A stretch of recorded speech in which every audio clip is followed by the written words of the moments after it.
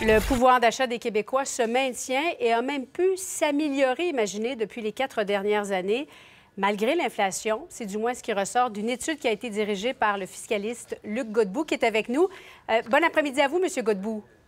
Bonjour. Comment est-ce qu'on peut expliquer ça, selon vous?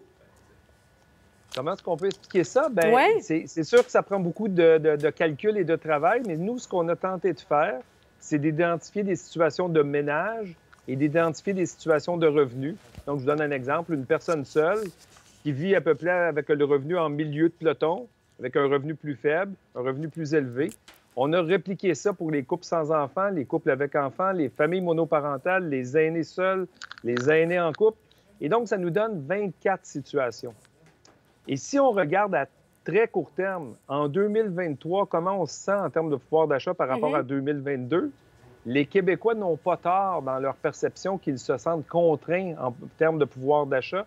Il y a 20 situations sur 24 que ça se contracte 2023 par rapport à 2022. La raison est assez simple. En 2022, il y a eu beaucoup de mesures ponctuelles pour le coût de la vie qui ont disparu en 2023, mais qu'il y a eu des baisses d'impôts. Et les baisses d'impôts étaient moins généreuses que les mesures ponctuelles, si bien qu'il y a beaucoup de perdants pour 2023. Oui, il y a eu des chèques aussi distribués. Oui, c'est ça, c'est ça. Mais si on regarde pour 2024, là, le, portrait s'éclaircit un peu. On se ramasse avec 10 situations qui s'améliorent, 7 qui se maintiennent inchangées et 7 qui se détériorent.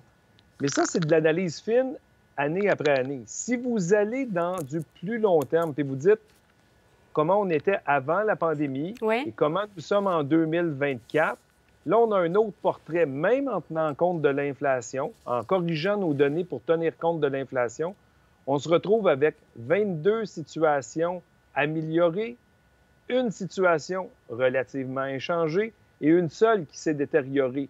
Donc, sur le plus long terme, les signaux sont plutôt positifs. Bon, en même temps, le fait que le pouvoir d'achat ait pu se maintenir depuis 2019, s'améliorer même dans certains cas, ça a dû nourrir en quelque sorte l'inflation, ça.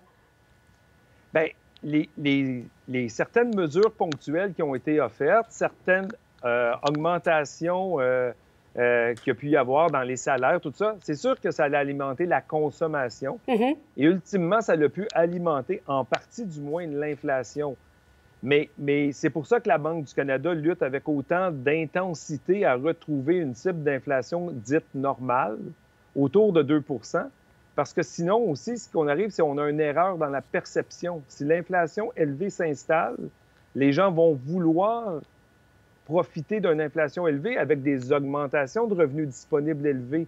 Et là, on rentre dans une spirale qui demeure inflationniste. Donc, c'est pour ça que la Banque du Canada a voulu rapidement casser l'idée que l'inflation élevée était pour durer. Euh, hausse du revenu aussi, euh, ça vient avec la pénurie de main-d'œuvre moins de, travailleurs disponibles incite les employeurs pour assurer une certaine forme de rétention à mieux payer leurs employés. Et c'est ce qui explique l'augmentation du pouvoir d'achat mhm. dans les catégories analysées en âge de travailler. Donc, les personnes non aînées, dès qu'ils travaillent, le revenu de travail au cours des dernières années, et sur une longue période, c'est encore vrai aussi, a eu tendance à augmenter plus vite que l'inflation.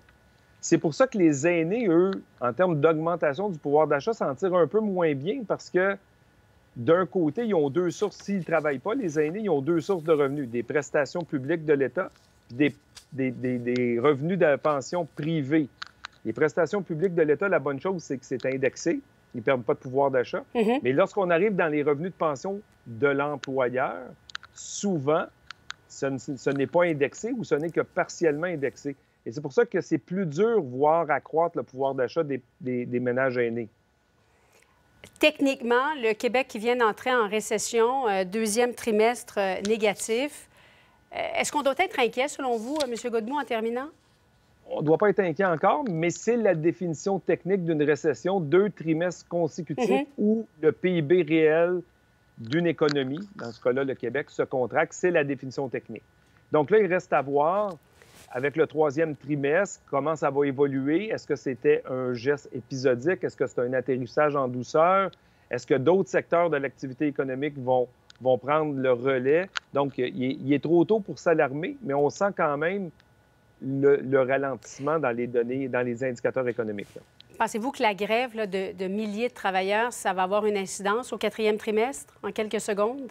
Je ne suis pas un spécialiste du calcul du PIB et de la, prévision économique, mais euh, considérant les effets sur le revenu des ménages qui sont en grève et donc qui consomment moins, ça ne peut pas être un facteur qui augmente la croissance économique durant la période. Le Godbout qui est avec nous, fiscaliste à l'Université de Sherbrooke. Merci beaucoup. Il n'y a pas de quoi. Au revoir. Merci, au revoir.